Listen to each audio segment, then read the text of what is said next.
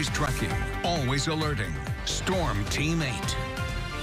A little bit cloudy to kick off our Wednesday here, but a bit of a silver lining are those temperatures. Stepping out the door this morning, I think you'll be pleasantly surprised how it feels. 41 degrees right now in Grand Rapids, 39 in Hastings, but with that southerly wind, again, feels like temperatures actually feel like that. It is cloudy out there, and we're starting to see the chance for a few showers pop up. You'll notice some kind of popping up around our radar. Haven't seen any official reports that it's reaching the ground, but scattered showers will be possible as we head throughout our later morning hours, and especially into the afternoon and evening.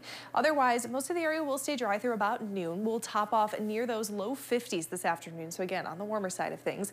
And then later tonight and into those overnight hours, rain becomes moderate to heavy and more widespread. That carries us into our Thursday morning. We'll dry out slowly into the afternoon under partly cloudy skies. Winds will turn to the north and that'll also pull in some drier air for us. Friday, slightly cooler, back down to 45. We will have some sunshine in the mix and pretty calm winds from the east there as well.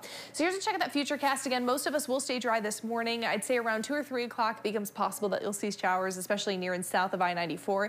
Notice a fair amount of yellow and red popping up. That is indicating moderate to heavy rainfall and even a chance for a thunderstorm. But those thunderstorms actually become a little bit more likely as we head into those early morning hours on Thursday. We'll start to see that wind turn and that should dry us out pretty quickly into the afternoon with the exception of just a little bit of drizzle remaining. Again, a few rumbles of thunder tonight, not out of the question. So if you wake up, you are warned.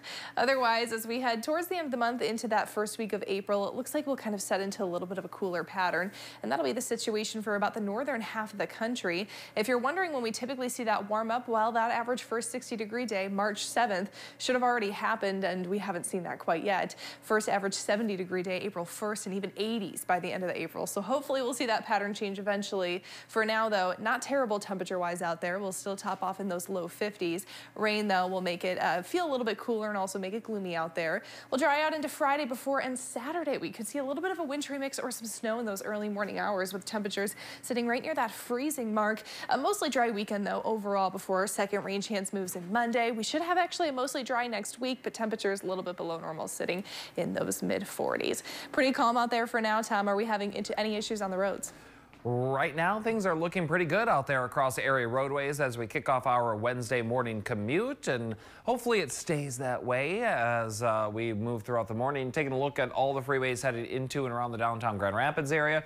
Right now, no major problems developing across area freeways. 131, 96, 196, and M6 all remain crash free for us. So uh, no major delays heading into uh, or around the downtown Grand Rapids area. Weather so far, not an issue, obviously, for us. We have clear and dry conditions across the area roadways. As we take a look from the MDOT camera positioned at US 131 at Hall Street, you can see light traffic in both directions. I'll have another update for you coming up in about 15 minutes. Teresa and Donovan. Alrighty, Tom. Thank you, sir.